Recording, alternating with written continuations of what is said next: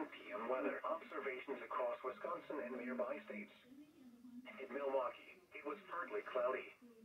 The temperature was 69 degrees, live 2.38, and the relative humidity was 32%. The winds were southwest at 9 miles an hour. The pressure was 29.78 inches and falling. In Kenosha, it was partly cloudy, and it was 61. In Racine, it was partly cloudy, and 67. In Waukesha, it was clear, and 63. In West Bend, it was partly cloudy.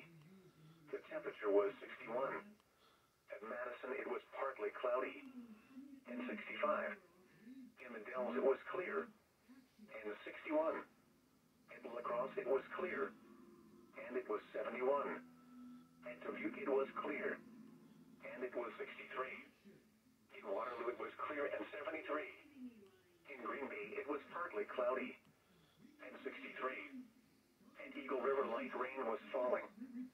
The temperature was 53. At South Bend, it was clear, and 61. In Chicago, it was partly cloudy, and 69. At St. Louis, it was clear, and 71. At Des Moines, it was partly cloudy, and 72. At the Twin Cities, it was mostly cloudy, and 77. Once again, at Milwaukee, it was 69 under partly cloudy skies. Observations.